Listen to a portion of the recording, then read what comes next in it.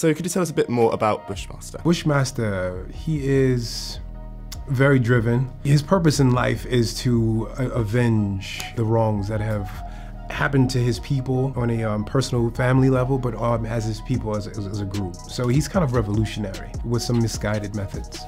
So there's a lot of big fight scenes in the series, but uh, the one when you come face to face with Luke yeah. and take him out for the first time, what, what was it like filming that? Super cool, man. Uh, we were like right on 116th um, in Harlem. It's like right down the street from my sister's old, old apartment, so some of my stomping grounds. And how long does it take to train for these sort of big sort of fight scenes? I mean, I think it's different for everyone, but um, we had some fights, some choreography training, like I don't know, once or twice a week. I we take videos of it.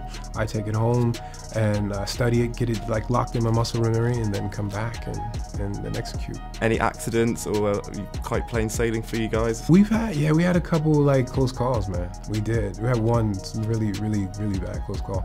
But um, I, I pulled my hamstring in, in, in rehearsal one time, but you know, we just, we worked around it. We made it work. A trap door fell. Yeah, and uh, it just missed me.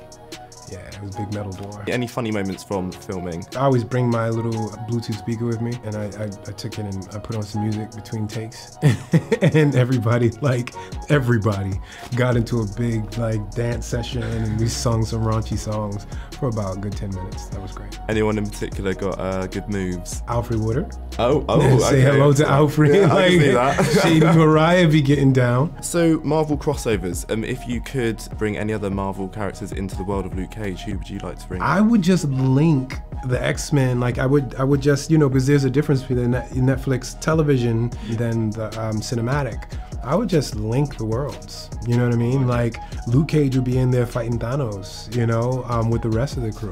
How would Bushmaster fare against Thanos? Do you think? Without the glove, I think he'd have a chance. Um, with the glove, like who has a chance? No, no. He's just, just nobody. Um, what was it like having Lucy Liu direct the first episode? It was the best intro ever because like she's um, super exciting, exuberant personality. Coming in, you know, your first day, you got the jitters because you haven't like popped it yet. Um, but after like my, my third take, she just made me totally comfortable and set the tone for the rest of the shoot. So it was awesome. And why is it that people uh, should watch this new series? I think all the criticisms that you guys had um, about the first season were taken, heeded. I think you'll be really excited to see where we go with it. Definitely ups the stakes.